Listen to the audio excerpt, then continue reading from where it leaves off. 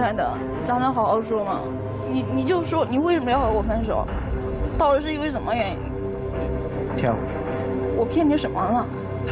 我不想跟你说，真的，涂老师，我想跟你说，就是我们我每次带他去聚会的时候，他都是和他的和我的不管熟不熟的朋友，他都是见面是一个拥抱，然后去和熟不熟的人都去要电话号码，我然后紧接着之后和我的朋友去喝交杯酒啊什么的，不管人老婆在不在现场，他都是这样。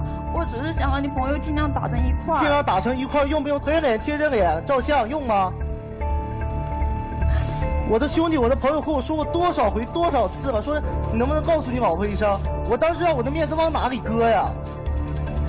我那次我知道做错了，做错了这种事儿是一次两次了吗？这种事儿是一次两次了吗？多少次了？你在咱家狗底下拉拉扯扯的，他手都搭到你腰上了，你知道吗？清楚了。你能不能别再演了？能不能别演了？别逢场作戏好不好？我到底演什么了？难道我在你面前就是演戏吗？